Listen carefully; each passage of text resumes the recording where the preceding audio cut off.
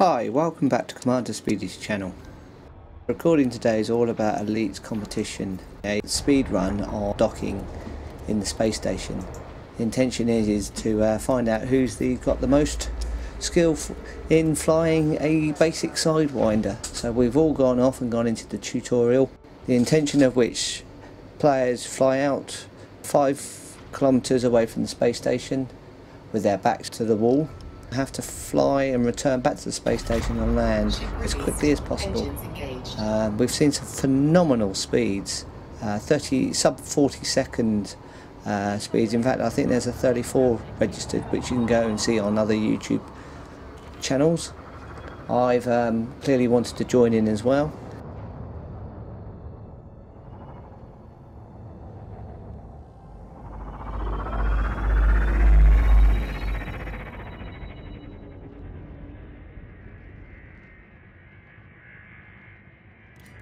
What you would have just seen up until this point is uh, me flying out the 5k. I just wanted to show you that um, I genuinely did go out to where I was all to start.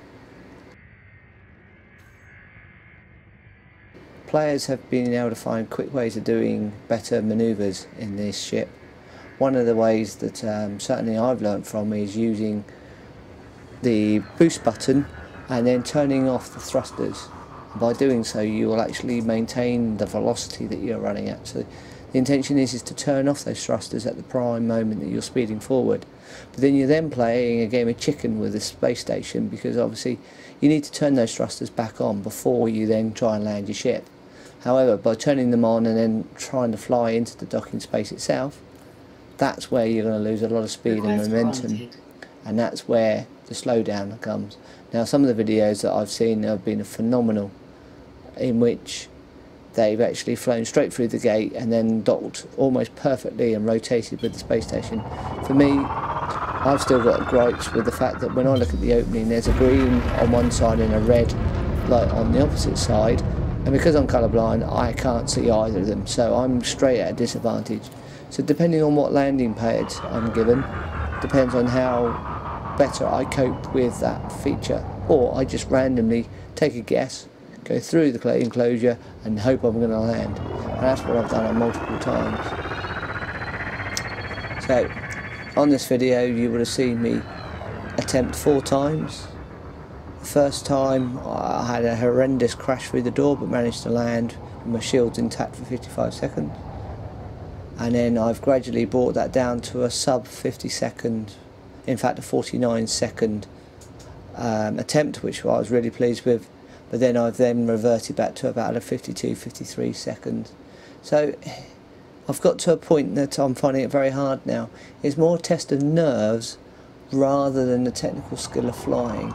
There is an element of picking the right landing pad and somebody has kindly on the forums provided a map of where all the landing bays are so you can actually restart your tutorial until you get a favourable one.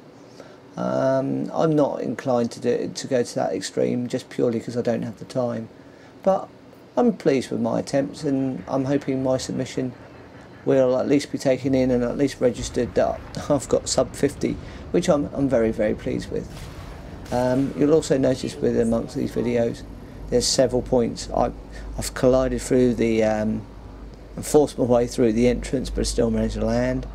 I've when I've come to land I've actually landed heavily of which I've then bounced back. And landing it in a horrible way but these are the things that happen. There are a couple of issues that I think that I've come across. Every now and again you'll have a problem in which you can't land and that's because the fact the ship is round the wrong way. Now I've a couple of attempts I forgot to get permission to enter this space station. And then I don't know whether it's co coincidence, but when I've flown back into that space station, having got permission, that's when I've not been able to land. It's them refusing that I, don't matter which way I turn the ship round.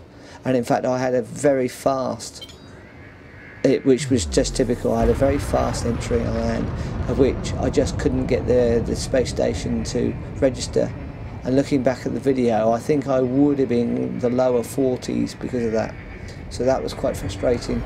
But overall, I'm happy with actually giving this a go with the speed run. I'm happy with my tactics. I'm happy with the speed I enter in the space station. Um, and there may be a better way of achieving this, but I'm going to leave it to the experts.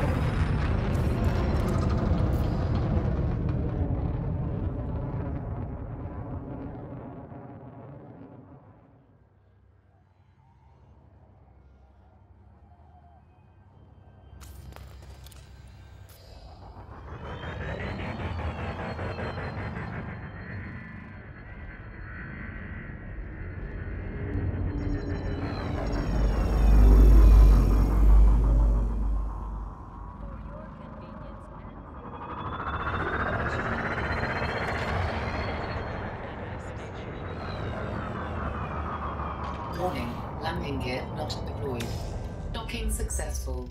Engines disengaged.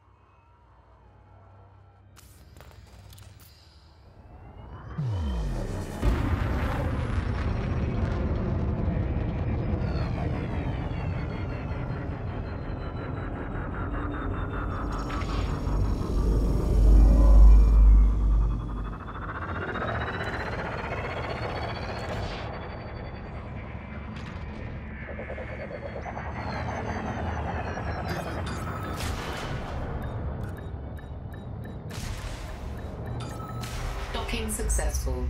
Engines disengaged. This is Commander Speedy signing off.